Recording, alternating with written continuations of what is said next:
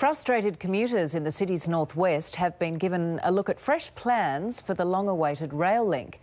The blueprint includes monster car parks and the possibility of two extra stations along the extended northwest line. When it comes to broken promises on public transport, We'll believe it when we see it. they don't get much bigger than the Northwest Rail Link.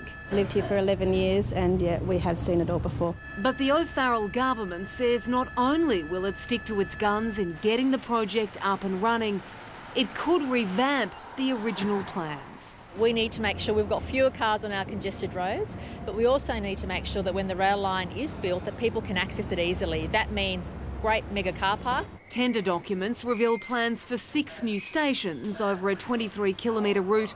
Starting at Epping, trains would connect to Cherrybrook and Castle Hill before moving on to Kellyville and Rouse Hill. There's even discussions about two more stations at Samantha Riley Drive and Cudgegong Road.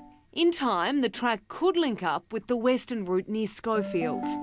The whole thing is set to cost around $8 billion.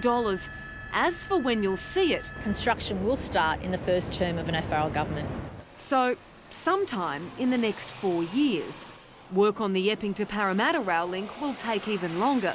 It officially remains on the deferred list, despite the federal government promise of $2.1 billion in funds. They've just got to keep working at it and hopefully they'll pull it off. Live now to Jessica Rich at Epping Railway Station. And Jess, after years of announcements and re announcements, is this the good news Sydney's Northwest has been waiting for?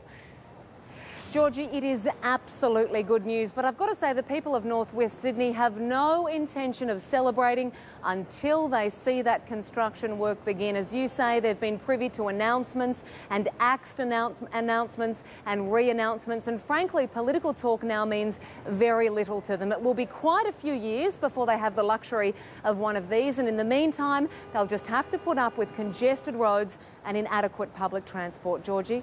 Jessica Rich, thank you very much.